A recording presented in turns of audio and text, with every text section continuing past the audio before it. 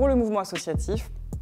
à l'horizon 2035, euh, il est souhaitable d'avoir une société dans laquelle euh, les citoyens, les citoyennes trouvent toute leur place, s'engagent, une société avec une démocratie revitalisée, une économie plus, durable, des liens sociaux renforcés. Et pour cela, pour qu'on puisse y parvenir, on a besoin d'une société civile euh, reconnue, d'une société civile valorisée, a fortiori les associations forcément, hein, puisque je, parle de ce que je connais le mieux. Et euh, un des éléments qui est essentiel, c'est euh, une société où l'on co-construit, où on n'oppose pas les pouvoirs publics, les citoyens, la société civile organisée, une société où, euh, toutes et tous, on, on, arrive à trouver notre place et où voilà, la confiance serait le maître mot plutôt que la suspicion, donc la co-construction plutôt que la suspicion.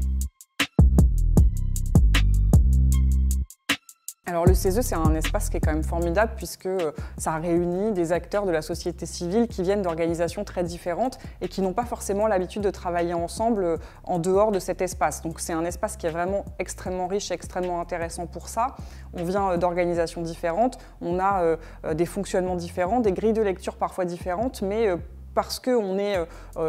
toutes et tous soucieux d'une société plus juste, on euh, travaille ensemble pour euh, élaborer des avis, euh, et, produire des études, des expertises, voilà, au service d'une société plus juste. Donc le CESE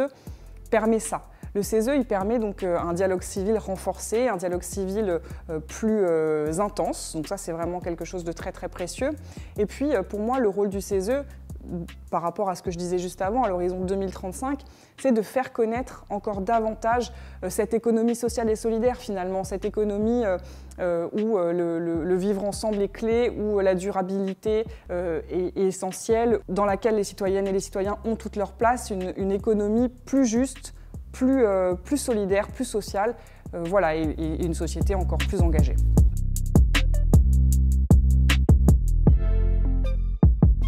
Un des signaux faibles que, l'on a euh, identifié, c'est celui de, des inégalités. Euh, on sait que quand on s'engage, ça a des effets extrêmement positifs. L'engagement produit des choses extrêmement positives dans les parcours de vie, mais on sait aussi que l'engagement, il n'est pas exempt d'inégalités, malheureusement, et ça, ça doit nous interroger. On ne peut pas se contenter de, se satisfaire de ça. Donc, euh, un des signaux faibles, c'est vraiment celui-ci, lutter contre les inégalités.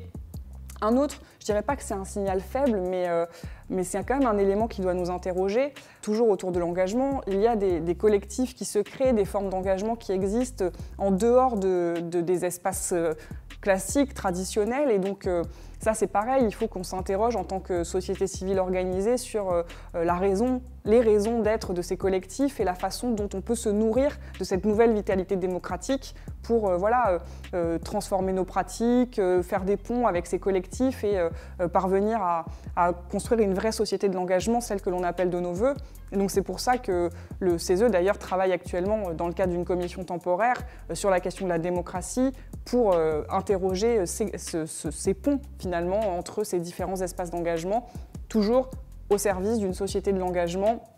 euh, plus juste, plus durable, dans laquelle les citoyennes, les citoyens ont toute leur place, dans laquelle on, sera euh, parvenu, je l'espère, à horizon 2035, euh, à, à avoir passé le cap de ces inégalités qui sont encore trop importantes dans les espaces d'engagement.